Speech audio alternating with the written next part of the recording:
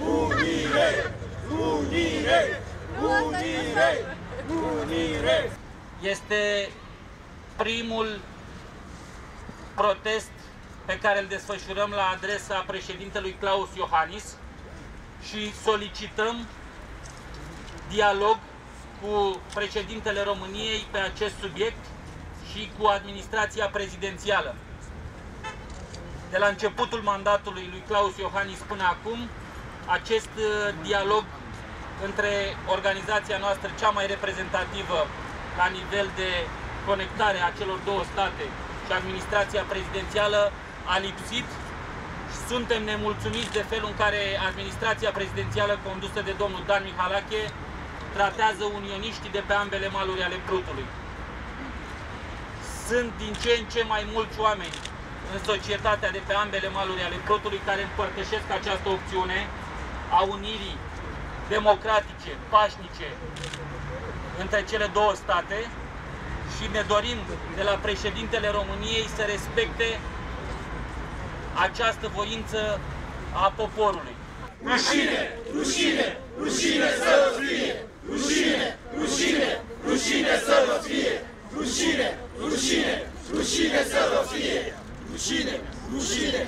Rușine să vă fie! Pentru noi declarațiile lui Claus Iohannis au fost uh, o imensă trădare. Uh, ne-a durut sufletul ca român din România, dar ne-a durut și mai mult sufletul uh, pentru frații din Basarabia, care au ascultat aceste declarații și speranțele lor pentru unire au fost uh, destrămate întrucâtva. Ne dorim altă atitudine din partea președintelui și ne dorim să aibă aceleași declarații pe care le-a avut în campanie electorală. E inadmisibil să declari una în timpul campaniei electorale pentru a atrage voturi și după aceea la un an de mandat să te contrazici singur e inadmisibil și de altfel suntem și împotriva felului în care administrația prezidențială condusă de Dan Mihalache a tratat subiectul Basarabiei. Nu există un consilier cu care se poate discuta pe subiectul Republicii Moldova, deși noi am solicitat constant acest lucru.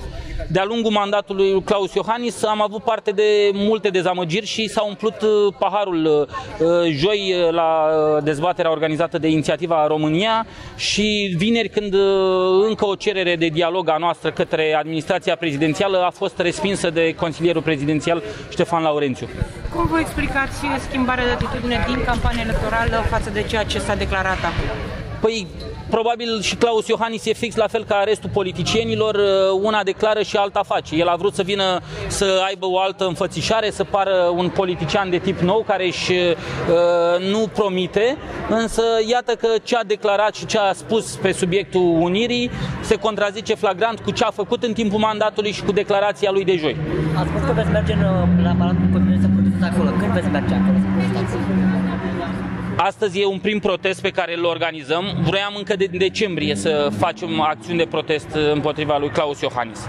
Astăzi ne-am adunat aici pentru a cere un dialog decent între societatea civilă, care e în stradă și care a fost în stradă în ultimii ani, și președintele Iohannis. Dacă această solicitare de dialog nu se materializează, pe parcursul săptămânii viitoare o să protestăm în fața uh, Palatului Cotroceni. Și astăzi am venit aici 100 uh, de, de membri ai organizației noastre, o să venim mult mai mulți uh, în fața Palatului Cotroceni pe, pe măsură ce ni se refuză dialogul. Noi vrem să aibă administrația prezidențială o poziție constructivă și să lucreze concret pe uh, întru frații noștri pentru 3 milioane de români de peste Prut. Nu există această variantă de aderare uh, a Republicii Moldova în Uniunea Europeană. Singura șansă a Republicii Moldova de stabilitate, de integrare europeană și uh, de uh, luptă pentru bunăstare este alături de România, făcând parte din România, așa cum a făcut parte și în perioada interbelică. Atunci, un neamț, regele României, a făcut unirea. Noi aveam alte așteptări de la președintele Claus Iohannis. Concret ce așteptați la dânsul? Demersuri diplomatice? Noi uh, am avut o serie de solicitări pe care le-am înaintat încă de anul trecut cancelariei prezidențiale. Am cerut să aibă în componența cancelariei un consilier pe problema Republicii Moldova. Am cerut ca președintele Nicolae Timofti să fie decorat.